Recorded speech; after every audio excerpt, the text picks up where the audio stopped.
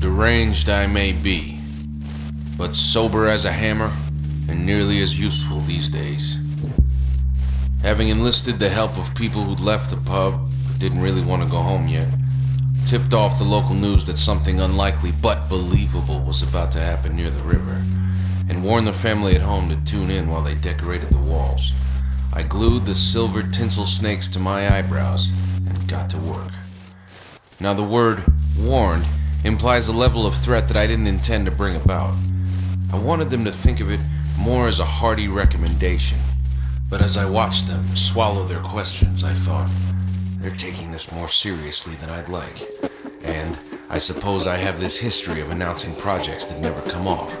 But two weeks ago, I'd bought a van and started sticking eyebrows to my face every morning before work, looking in the hall mirror and telling our watching spawn that equilibrium starts in the face.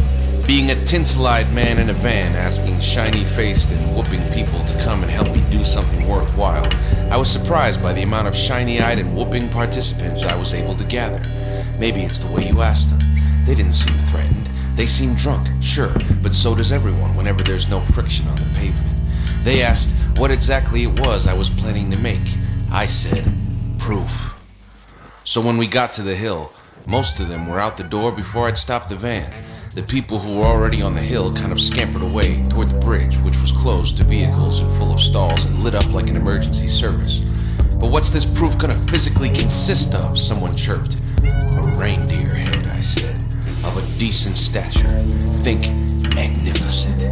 Immediately, two bare, red, glistening hands molded a snowball and rolled it through the knee-deep white, and were joined by other hands up and down the hill until the ball was like a small car wrapped in freezing fluff and came to a rest, looking at the bridge and the gorge and the river below. They stopped and turned to me and asked, Now what? And from the back of the van, I took my saws and sticks and scoops and set to work on the lump pretty pleased with myself because they seemed impressed by the speed I was sculpting and were passing around a hip flask and didn't mind when I'd realized I'd forgotten use. Two of them went off and ten minutes later came back with two flat lumps looking like small warped televisions mounted on thick sticks which they thrust into the head at almost the right locations. I'd forgotten the novelty of having people take my suggestions on board.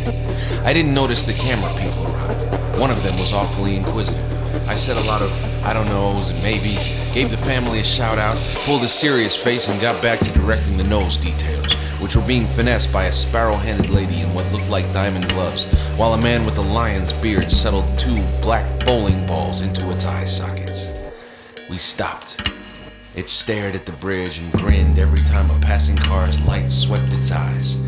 Its constructors took pictures and began to leave. We didn't intend the head to be so big. We didn't think the snow would be. Just as the camera crew departed, the right eye slipped out of its socket, rolled through the downhill snow, hit a rock at the edge of the gorge, and sailed like a lacquered comet into the river.